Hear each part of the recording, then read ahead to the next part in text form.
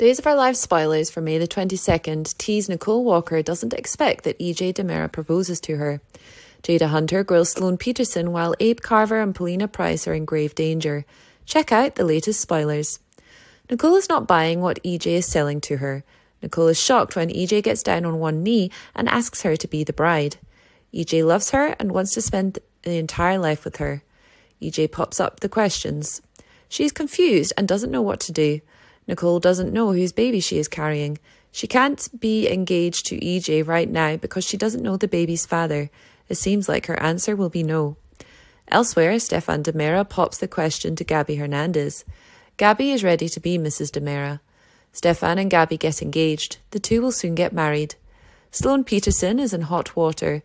She is in trouble because of her brother Colin. The detective questions Colin. She wants the answer. Colin makes his next move. Abe and Paulina are in grave danger. Abe is in grave danger and Rafe Hernandez tries to help him out. Elsewhere, Colin Bedford takes Paulina to the roof. He points a gun at her. That not only makes Paulina suffer, but the entire family. Will Colin kill Paulina? Will he shoot a gun at her to get his revenge? In addition, Eric Brady demands answers from Sloan. The former priest goes to Sloan and gives her an ultimatum. Will she come clean to her? Will she tell everything at once? There's a chance that the lawyer will tell Eric everything about her brother. She may tell him the truth. The lawyer knows that Nicole is pregnant.